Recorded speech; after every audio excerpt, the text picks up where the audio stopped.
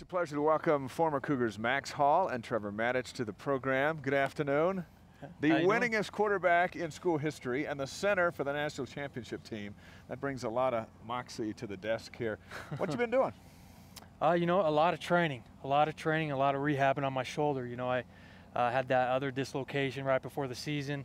I had to get my labrum repaired, had to go under the knife and have surgery, but uh, uh it's now been you know, eight, nine months since the surgery. It's 100% healthy, feeling good, and um, just became a free agent. And I'm. Uh, What's that like? It's uh, it's a little bit scary. You don't know what's going to happen, but I know there's some teams out there interested in me, and I know that I'm going to get some workouts and some stuff going on here in the next couple weeks, and uh, hopefully I land somewhere. I just don't know where it's going to be. Trevor, what's it like to be a free agent? What are some of those emotions?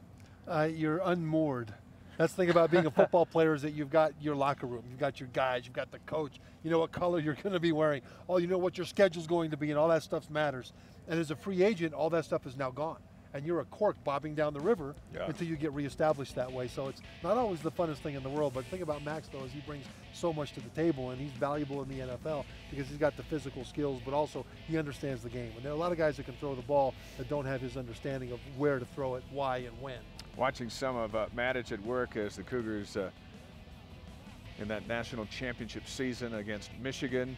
Uh, the only national title for football. Uh, as you two guys come back, I'm going to ask you a question in a sec, Max, but as Treasure, uh, Trevor, as you walk out here with all the alumni and, and the players, does everyone know, hey, national champions walking in? They kind of do. Do they? Yeah. That's kind of cool, isn't it? it? It's, it's really cool. It's one of those things that, you know, while you're in it, you're in it.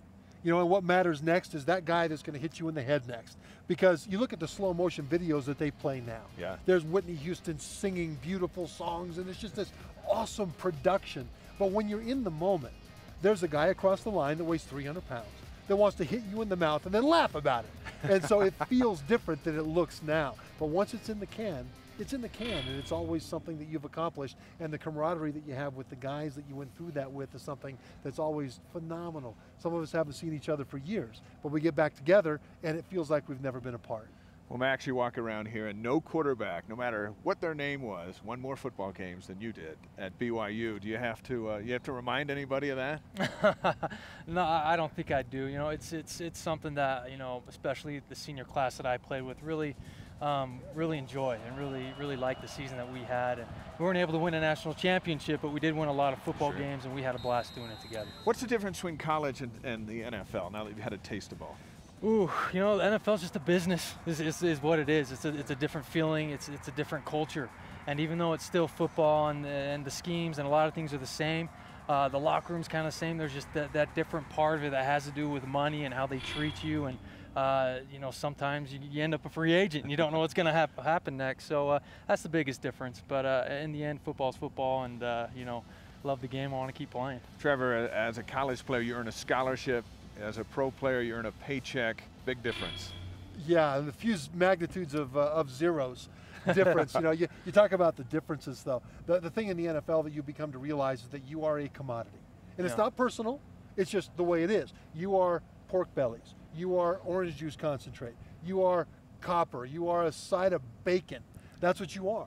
And they prod you and they poke you and they evaluate you the same way they evaluate livestock in an auction yard. Right. And then they determine your worth and someone makes a bid on you. And if you take that personally, it, will really make you mad. that really doesn't know? sound very good. It's hard to disassociate yourself with that emotion. That's why we have agents. Yeah. You know, there are a lot of guys that are smart enough to go and negotiate their own contract very often.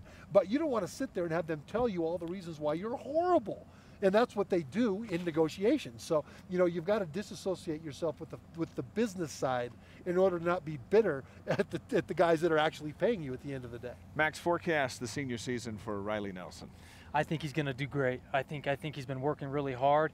I think he's a guy who pays attention to the details, and for the first time in his career, he's getting reps. I think that's been really big for Riley. He just hasn't had the reps right. that, like, say, I got. By the time I got to my senior year, I had a million gazillion reps, and Riley just hasn't had that. So I think now as he gets those reps and he's with his guys in the offseason, I think that chemistry is going to develop for him. I think he's going to have a great senior year. I think you're going to win a lot of games.